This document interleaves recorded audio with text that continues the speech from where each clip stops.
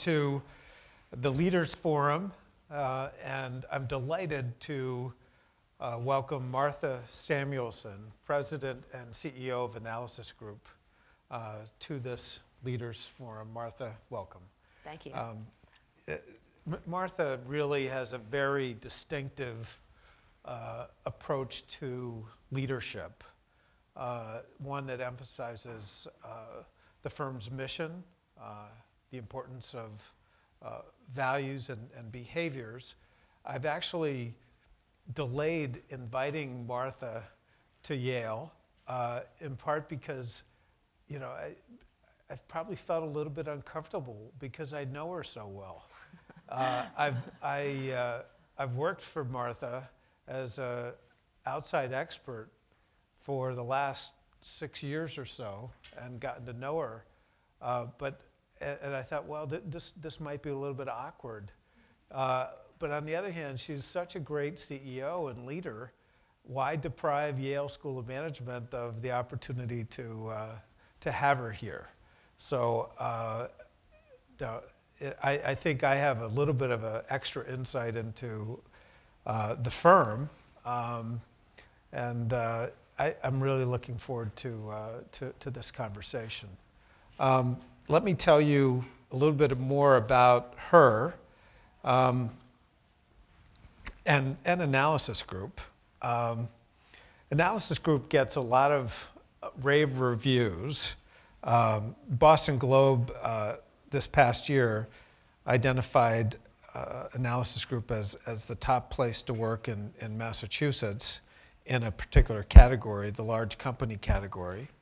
Um, for those of you who don't know Analysis Group, it provides economic, financial, and business consulting to uh, law firms, corporations, and governments. Uh, it's a private company. It's got about 600 employees, uh, nine offices in North America, and one outside the US in Beijing. Um, Martha is a graduate of Yale College. She has a master's degree from MIT Sloan and uh, did her law degree at, at Harvard. Um,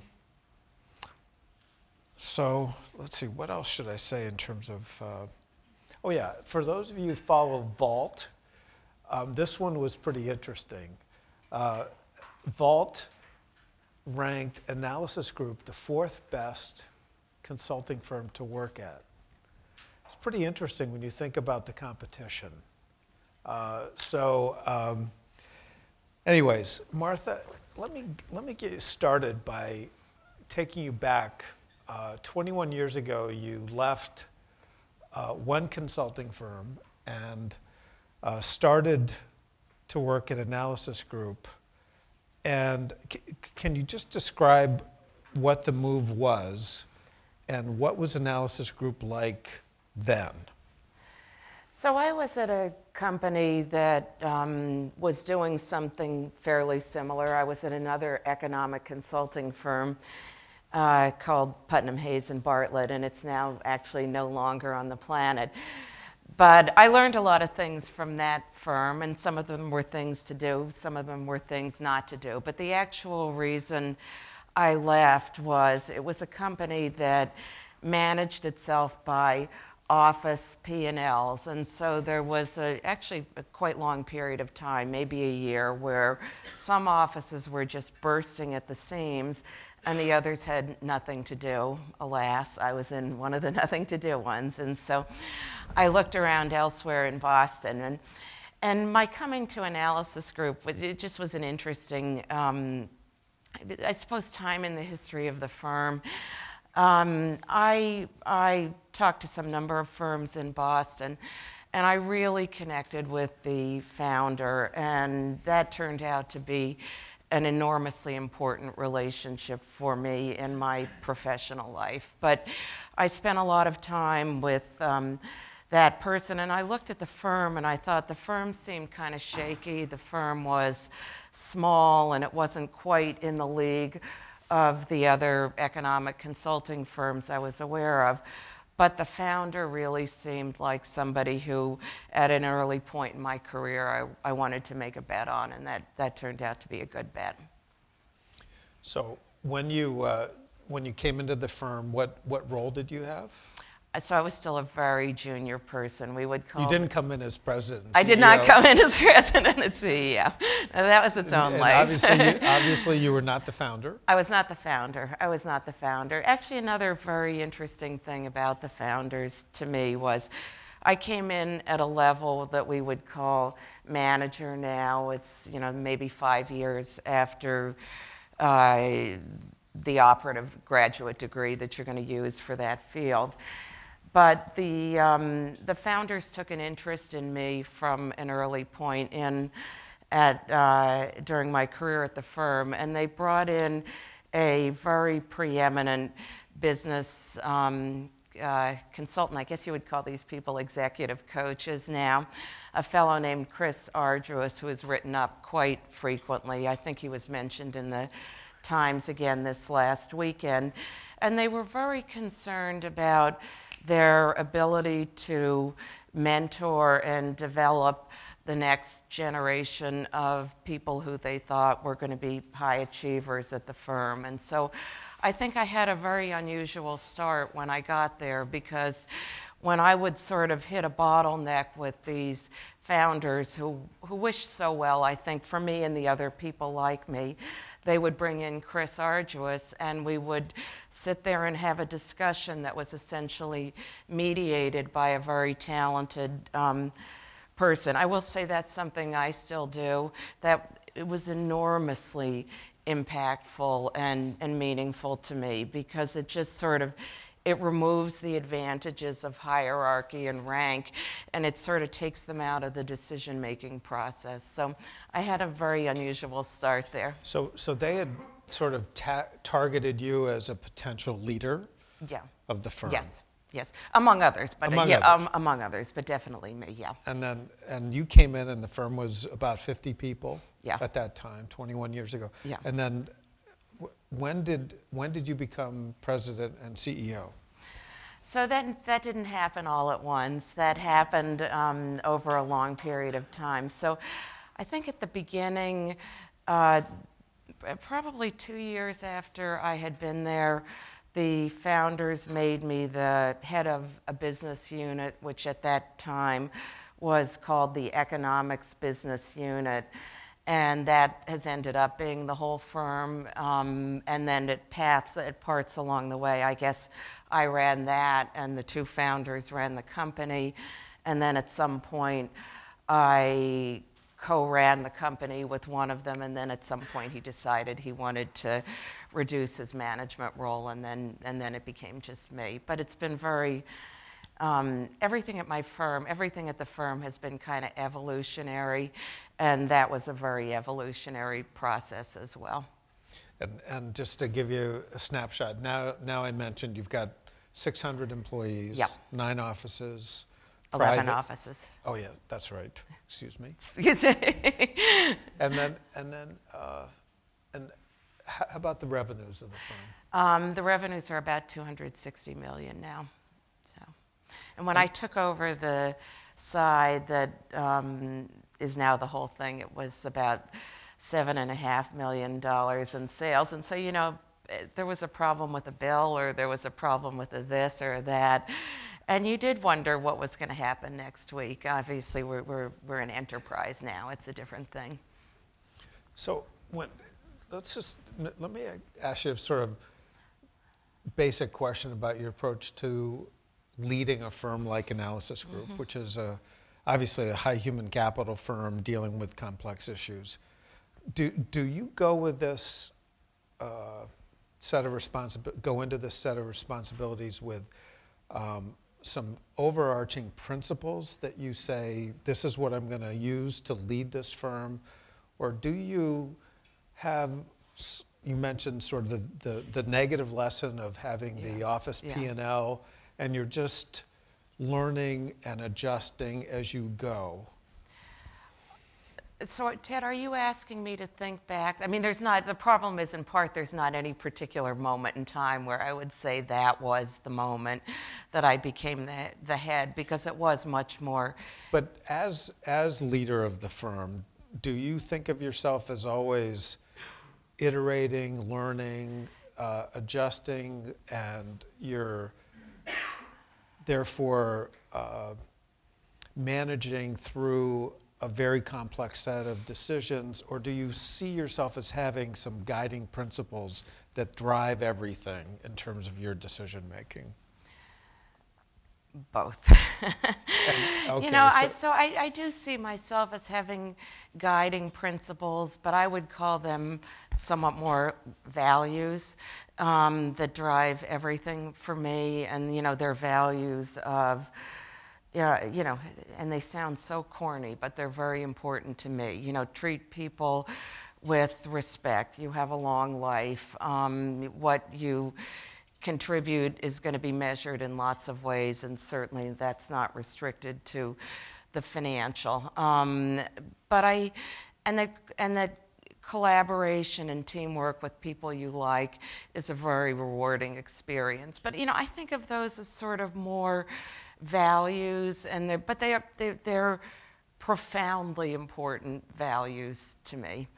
Um, So how would they be sort of what does you that know, mean? And any, how would yeah. those be manifest in sort of you know if I know the firm, but if somebody were to be dropped into analysis group, how would they see these values manifested in behaviors? So I think that they would see uh, a huge emphasis on uh, not rewarding the political. They would see a huge emphasis on rewarding teamwork. They would see we don't have the senior people be the only people who speak at meetings. We, we have a culture where giving credit to others, saying that wasn't my idea, that was Ted's idea, is hugely valued. And I think actually, you know, for the partners, for the most senior people at our firm, um, often in a professional services organization, uh, selling the most work's the most important thing in the firm. It's not in our firm. The ability to make future partners and so to bring on and nurture the next generation. You're not considered to be a partner who's really made it, no matter how much business you bring in, if you've not demonstrated the ability to nurture and develop people and bring them along. So uh, the, the, stereotypical rainmaker who is Yeah. uh, gathering and garnering resources Yeah. but not developing people and always right, that person wouldn't do well at your firm. There's a role for that person, but that person will not be central to our organization, and that person will be perceived as having gotten to a place, but really not gotten to the best and the highest place, to, you know, to be the most valued in, in the firm. And this, this emphasis on, on development of, of the future generation, how, how, how does that influence your, your leadership of the firm in terms of Yeah. how, how, how do you allocate resources? How, how does that affect what you do? Uh, you know, it, it runs through everything. So it runs through, uh, it actually starts at the very beginning with who we hire. Um, we have, we get so many applications to work at the firm. Last year, I think we had 16,000 applications to work at the firm. So we're weeding out and we're screening way beyond just is somebody going to have the raw capability. And we're really screening on, you know, from the uh, most junior people who enter the firm, do they look like they're going to understand what it means to be in an organization that values, you know, team-based developmental work? Um, you know, we have upward evaluations for everybody. Lots of the partners have coaches. This year, I'm going to have the fellow who's my coach go around and interview all of the partners again. This year, I had him do it five years ago. What am I doing right? What am I doing wrong? What, you know, do other people need to be in my roles? Anything I can think of. So, I, you know, I think that we spend so much time sending the message that um, feedback is valued, development isn't the same thing as criticizing. Those are two very different processes with two very different agendas. And we just spend so much time on that whole part of it, both within the context of the casework and outside of the context of the casework, because it, it occurs in both places, I think. So, so many interesting things in place. So, how, how much time do you spend on on this reviewing other people piece Yeah. of the the work? So I spend an enormous amount of time on it. And actually, it's sort of one of the things I miss as the firm's gotten bigger. There was a time where I felt like I could do my job terrifically if I was just the best salesperson in the organization, which I'm not anymore. And if I could just do do that and then demonstrate this is the way if I could be a role model and then that was sufficient. I think now the organization is bigger and more complicated, and so I spend an enormous amount of time, not just on the development part of it, but there's another part that occurs in a big, complicated professional services organization, which is there are loads of decisions you have to make. There's loads of places where somebody's elbows could bump into somebody else's elbow. You have to have lots of conflict discussions about what work you take in the firm. You have to have lots of discussions about whether somebody in the LA office is equivalent to somebody who's getting promoted in the Chicago. So I spend an enormous amount of time on being sure hoping, trying, you know, with the senior people, that the decisions that we're making as an organization seem collectively fair among all the individuals, because it's just a million decisions. So, so there's an old, uh, at least an old saying that I've heard a lot that the more senior you get, you end up doing marketing and HR, but you're actually saying in the end, HR wins out even over marketing. Yeah, I did. I did have an experience about you know because I'm used to thinking of us as a small, slightly understaffed, on especially on the administrative side, organization. That's not really where we are right now. But I had a moment. Um, Three months ago, where we had eight partners who needed to meet on a holiday card policy, and I thought, oh no, what has happened to me? Eight senior people meeting on holiday card policy. Are we going to send them out electronically? Are we going to send out hard copies? And I thought, oh well, something has really happened. Yeah, I think at, at the end, HR wins. I mean, I, I do spend a lot of time. Um, not just marketing, but it's sort of, I, I'd almost call it brand building. You know, I spend a lot of time um, meeting with senior people who might be clients. I spend a lot of time speaking now. That's really a different thing than um, compared to what I used to do earlier. But I think the part of my job where I just think the firm wouldn't work if there weren't me or people doing it is the sort of refereeing and the constant sense that people have to feel the firm's fair. I know you and I have discussed the fact that we have one P&L for the whole organization, so we don't have practice area P&Ls, we don't have office P&Ls, and so there's an awful lot of sharing and trust that has to go on. And my job is to be there to make sure if anybody's feeling like this is not working quite correctly, we have a good process to make sure that people feel the outcome is as fair as possible. It's so interesting. So, so you also do one other thing that I'm aware of, which is, you know, to change uh, language. You're a player coach. I mean, you Yep. also do some of the work. Yep. Whether it's the big litigation involving credit card companies or the uh, the uh, high tech Microsoft kind of Yeah. work. Why do you do that? Oh, I- i- i- Is that because you want to let people know that you're, you, you can set a, a strong example in that dimension, or is that more like you want to keep yourself fresh? It's for me. Yeah. It's, it's for me. It's Yeah. for me. I, I don't know what it would mean to the organization if I completely stopped doing it, but it's for me. I mean, the thing about client work compared to the management work inside a complicated organization, the rewards are so much more direct. You know, you come up with a good idea, you explain to the client it's a good idea. They say yes, they say no, you demonstrate something in a clever way, you help a meeting go well. Those are very direct. I think the rewards for management, you know, there are moments certainly where I think, I'm so glad I realized that we had to have some group of people come together and preview a decision before we brought it to the larger partner group because otherwise there were going to be people feather, feathers ruffled. People were going to feel unincluded, and there are times, oh God, I'm so glad I remember. But that's very indirect. That and I am so proud of the place and the people, but that's, you know, that's not, it's the transactional sort of pride you get from consulting is very real.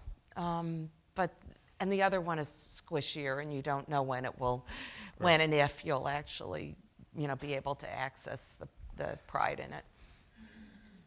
So if, if you were to see this firm, uh, walk into any of these offices, one of the things you would notice is it's got, you know, you've got this, these partners around, 40 of them in the firm, but it is an extraordinarily young firm. Um, certainly makes, I, I, mean, you just see it. It's, it's, there are a lot of very young people at Analysis Group. So, um, is that a conscious decision on your part? Uh, to, to keep the firm so youthful? No, the business really changed, I think, over you know the over the 20 years that I've been actively in it.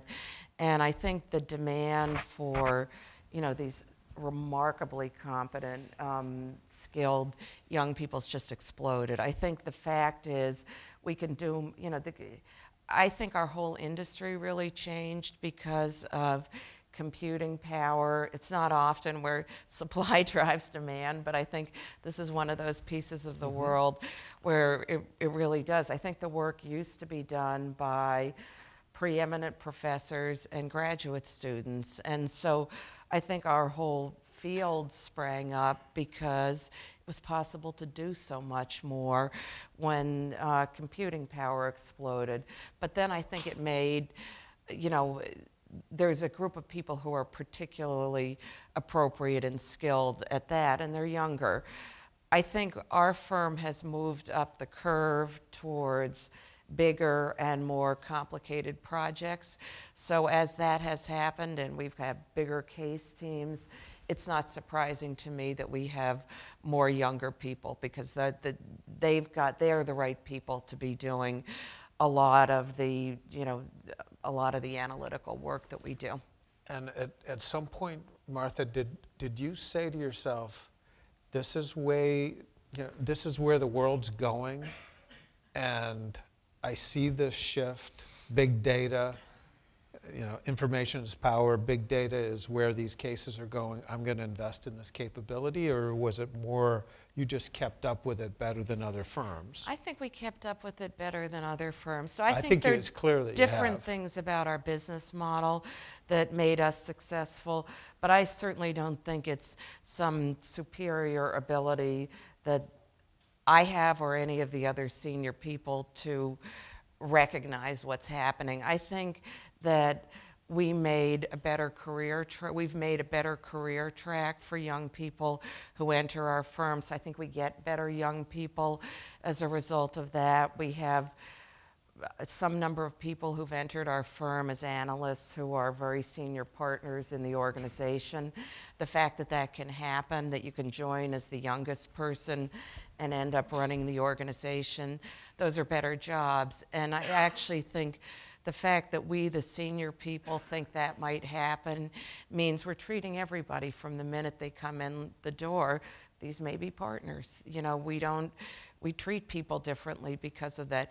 But I think it's been much more, the success of the firm hasn't been, it has been much more about the, you know, there certainly have been moments of insight in terms of the outside world um, or where we might build capability or that type of thing.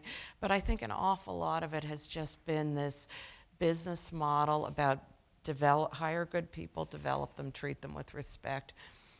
Build that trust as Yeah. opposed to, I'm going to put a chit on this entrepreneurship block or strategy, you know, yeah. strategic Yeah. spot. And you're, you're building this, this more general human capital That's, that's exactly the way I would and describe letting it. it, Yeah, letting it go to where, where the business Yep. is. yeah, yeah. So what, let, let- me shift a little bit. What happens when somebody is not meeting standards at AG? I mean, I, obviously you've got, it, it must happen. Yeah.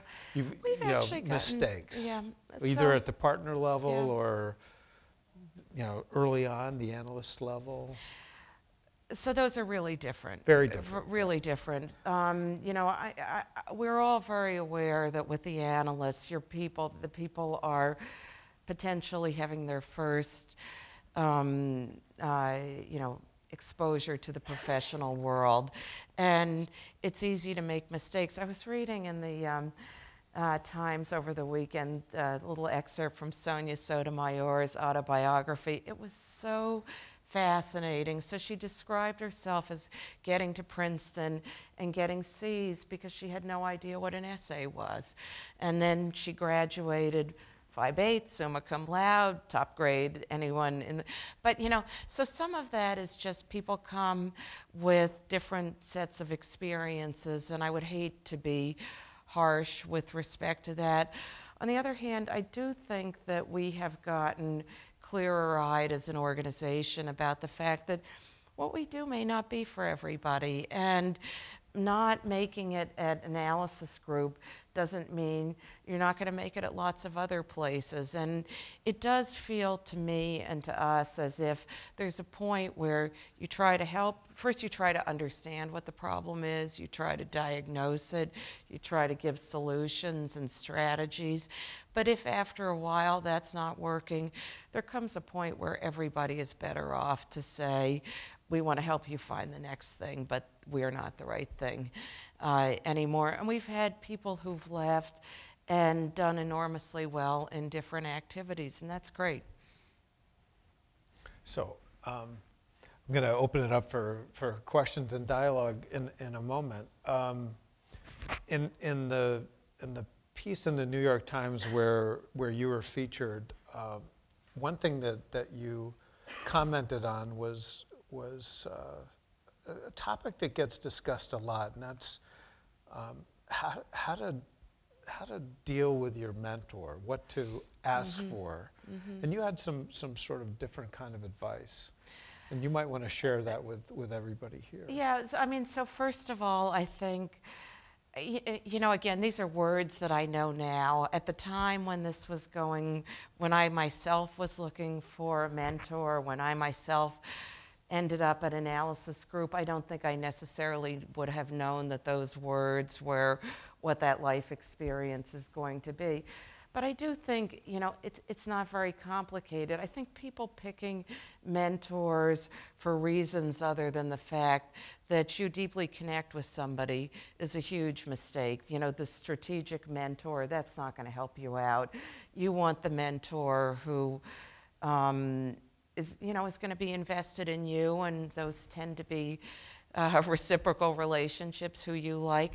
But the other thing I find that um, is enormously valuable, and I do think I did this with the founder of our firm, was I would come to him all the time and say, I think I did this wrong. I'm afraid I, I called when I should have emailed. I sent this out too quickly. I don't like the words. And so I think it made it very easy and safe for him to say to me, maybe you did.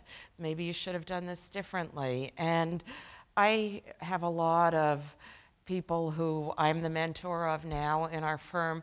And the ones that I love working with are the ones who do that with me. I think I, you know, tee up the problem, make it easy to give them feedback as opposed to the people where I feel like it's going to be hand to hand combat with them to get, you know, through uh, you need to return emails. It's not fun. And I, I think the people who make it easy for you, they just get so much more out of you. Um, so and and they make it well. They just So get so much use, more. so you would present an issue and say, here's what I did. I think I did it well or incorrectly, but I'm not sure.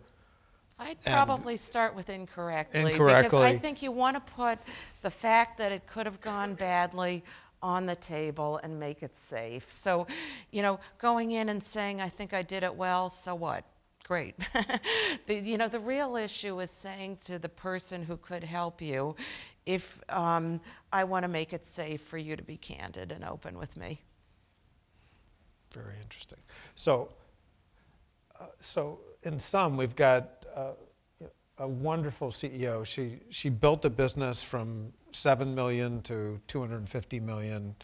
Uh, she's foregone a lot of standard business practices like you know, P&Ls based on offices or lines of business, one P&L, uh, very intensive review, therefore, of people, but not, not necessarily based on all the usual Yeah.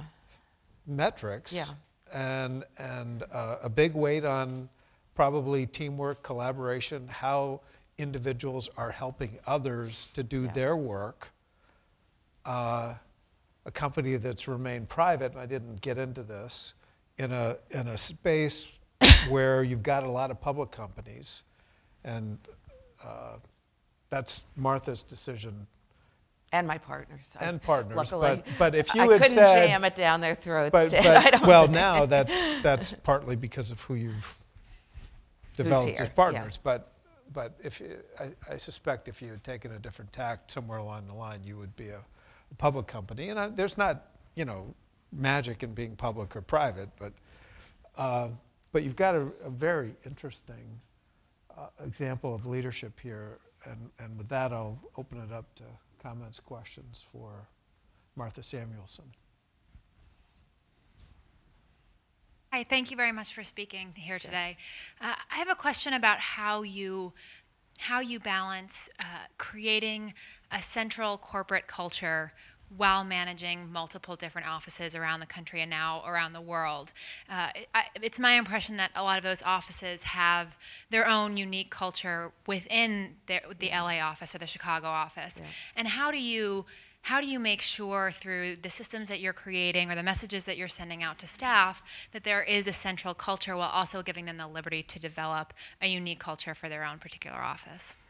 Well, that's a terrific question, and I think the answer is probably imperfectly. um, you know, I, I think there's some amount of processes that we, the, the, there are different people in different offices. In some offices, we've got 11 offices now, with the smallest one being really a, a towhead in Beijing. Some of the offices have lots of partners, some of the offices have only one. The culture is just inherently different in, in those types of, you know, if they're more senior people and less senior people. You, to try to keep it as cohesive as possible. Um, you know, we, we have structures, we probably have more than we used to. One thing that we do is all of the compensation for the entire firm is done by the partners across the firm. So, you know, from the most entry level up through the uh, near partners, all of the partners uh, agree to that together. So there has to be some consensus about values and what's important and who's progressing and what metrics we're even evaluating on that, that come from that. But I do think the offices are somewhat different. I, I, I think it's clear to everybody that this issue of creating partners is kind of the most important thing that we think you can do.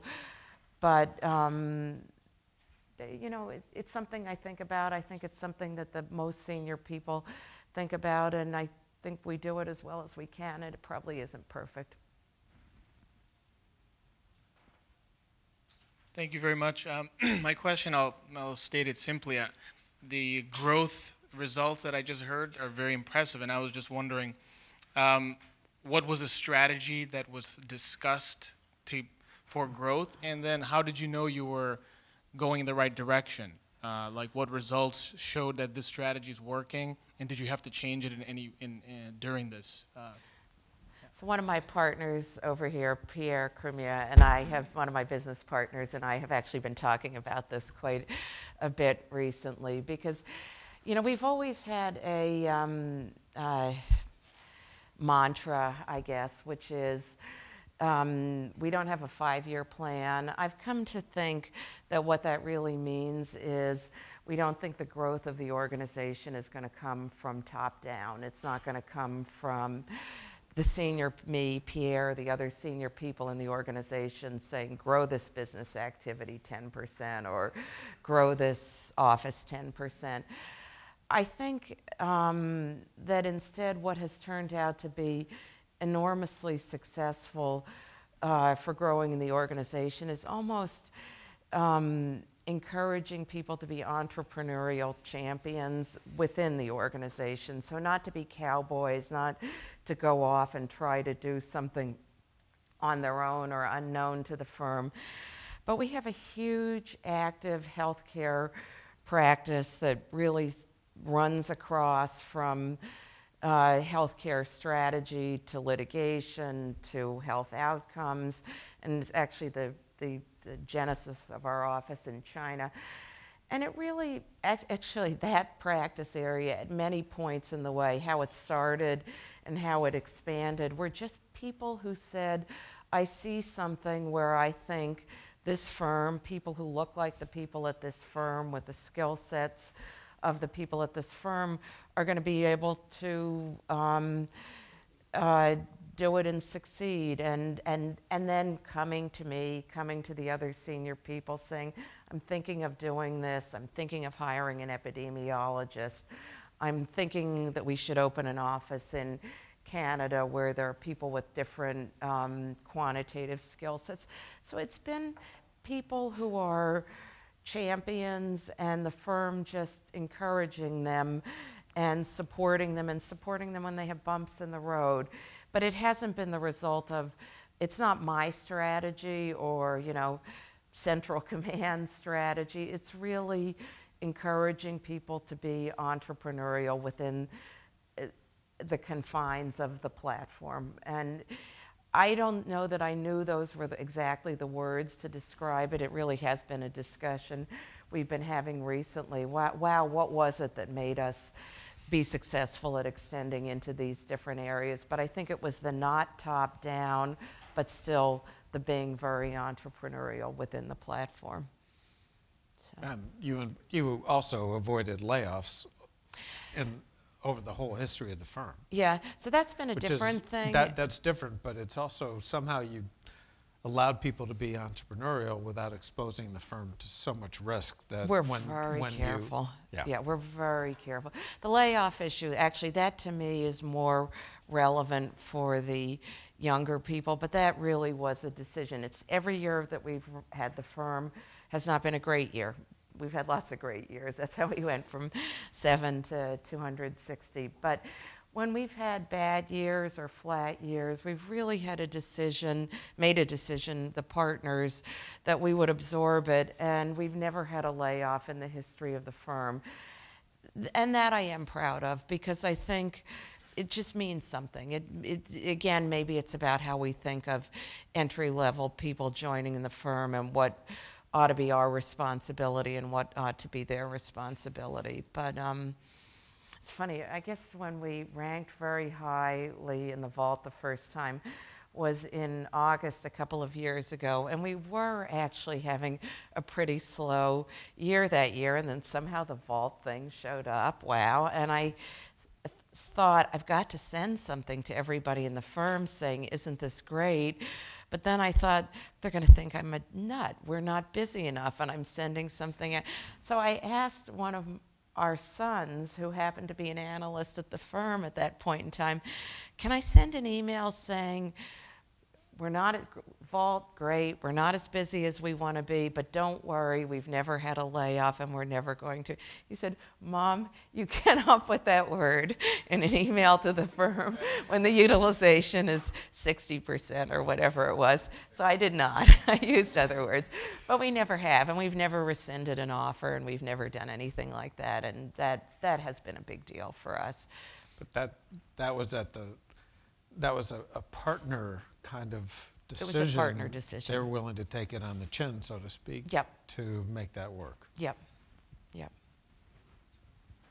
Um, so touching on the, you mentioned it towards the end um, of your, your comments there, uh, being publicly organized versus privately organized and how that um, plays into the incentives within the firm and also how um, the values of the firm as well.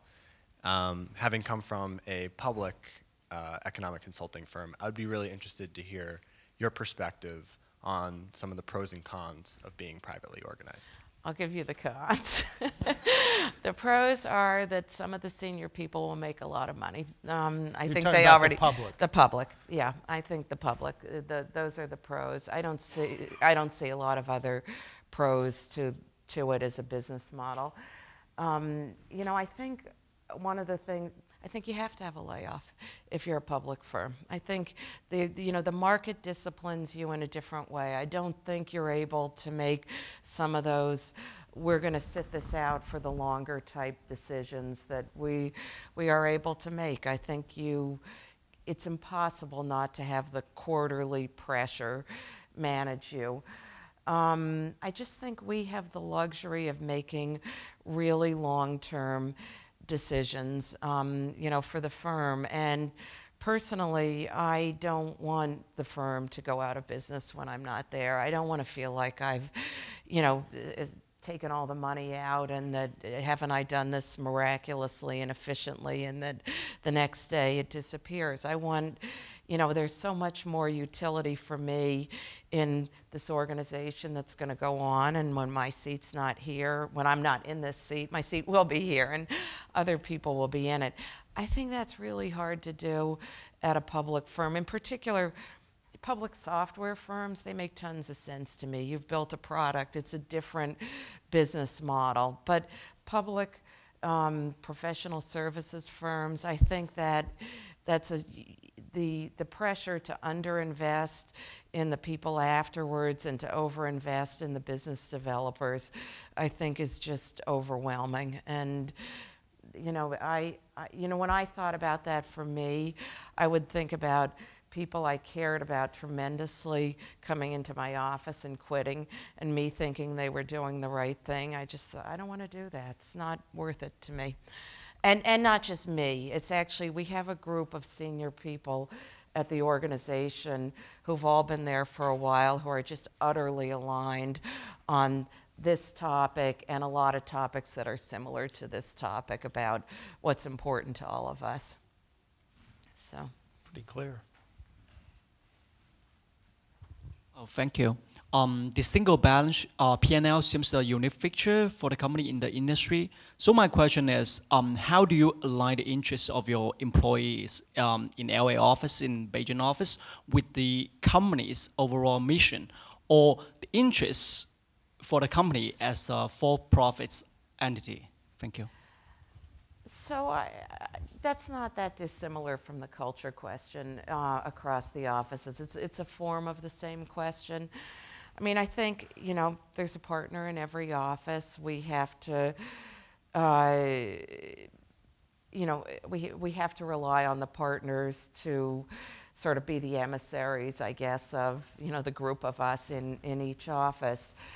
Um, but I think we have to, you know, aligning incentives. Um, you know, I think we have to create a common bar, and we have to, uh, you know, in terms of promotion and advancement and compensation, we have to be sure that as a group it's being uh, managed so it feels equal to people in the offices. I don't know if that's your question exactly. Um, you know, I never want to have somebody feel like if they move from one office to another office, they'll get a better deal. That's not good for the company. And so we have to, you know, work to not make that happen so that it feels that the return for what you do is going to be the same no matter which office you're in. Is, is that answering your question? I'm not sure it is. across the entire company, how do you evaluate the you know the individual performance in each office? Because you know, kind of um, there are maybe some other reason why this office underperform the overall average level. So we don't have an office P and L, so we don't have a Yeah. measure of how an office is performing relative to another office. We have lots of, we have 600 individuals who are working at the firm. So obviously, I don't look at every analyst, but we have a group that looks at analysts all across the firm. We have a group that looks at associates all across the firm. So, we, you know, we, painfully and slowly is how we do it. We spend a lot of time on it together, and you know, in some sense, the process of those discussions involves all the partners agreeing this is what we think, this is what we think is the right return and the right path and the right level for this person in Dallas doing this, and it seems comparable to this person in LA. We spend a lot of time talking. There really isn't another way.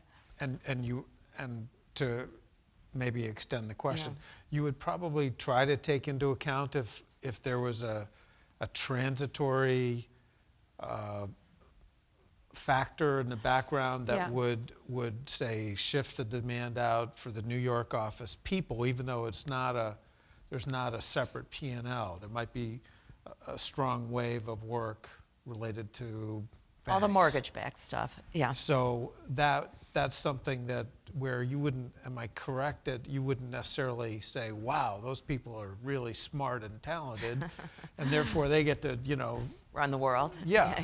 You would just say, listen, let's, let's take a more measured evaluation of their contribution, and maybe the tech sector isn't as strong Yeah. right now, and that could, that could influence how individual performance would look.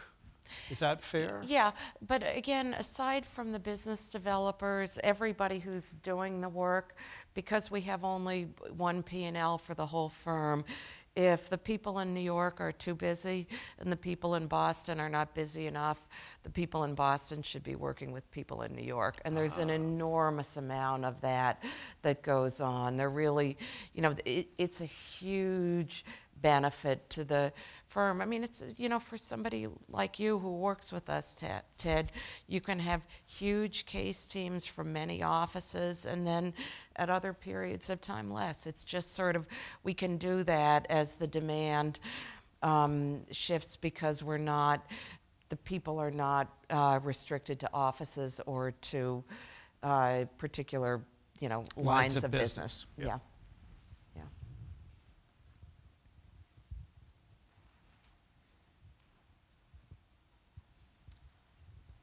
You've positioned yourself as having a very unique culture amongst economic consulting firms. Have there been instances where your culture has conflicted with those of your clients? And if so, how do you handle those?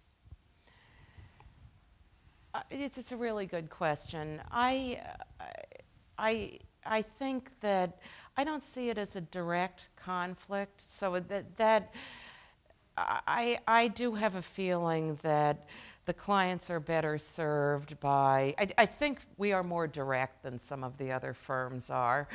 Um, I do think of us as, you know, we're kind of like doctors. So we're not really serving a client well if we tell them they don't have a problem when they do have a problem. And there are firms that do that. And certainly if you're in the litigation world, a lot of cases settle. You may get, get away with it for a long time if you just tell the clients, you're right, you're right, you're right, winner, winner, winner. So we don't do that. Um, I, you know, I think the clients are, on the whole, better served by, so one, that aspect of our business model. I think they're better served by the flatter teams. So it may mean that they don't always have the seniorist person directing all the work. I'm just trying to honestly think out loud, is that a problem?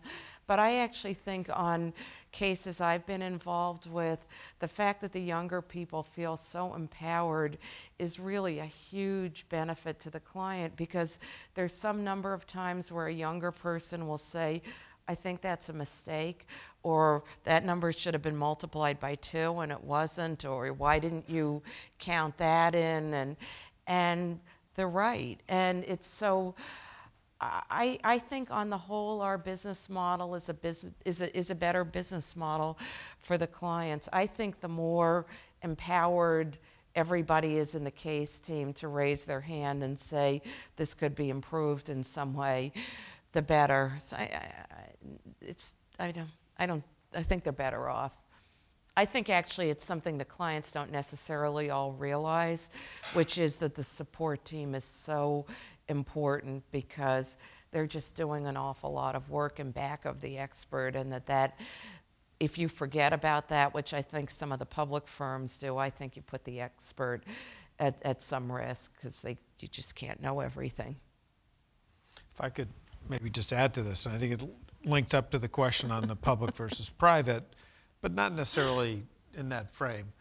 Yeah, it The- does link the- up. the- the- Your question, I think, really is, to me, very interesting. It gets at this question of quality and, and reputation and alignment with your clients or customers. And at any one point in time, a firm like Analysis Group or any firm with a reputation can cash it in. Uh, they can say to a, a prospective client, we can, we can do better, we can position you in a certain way and get a line of business, but that's going to cause problems down the road. And to, to restrain yourself from doing that, you have to have a horizon. You have to think about the flow of clients, and therein lies the potential alignment with your clients over the long term. So it really goes back to commitment to quality, integrity, uh, having the teams check each other.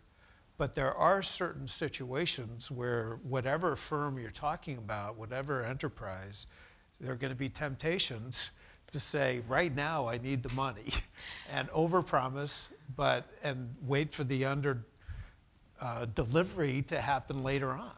Yeah, or the client to say to you, which is a somewhat comparable thing, I want, I'm not going to hire you unless the person you are working with is willing to say X. And you have to say to yourself, if X is really not right, um, this is not for us. My comment delayed a question from a very important person. so- Who is that? this is the question that scares me. Well, what I wanted to ask about was that I noticed in the Boston Globe article that the analysis group offers new hires further education at the expense of the company. And I want, like, to go to MIT Sloan School or to do further studies somewhere. What led you to that decision?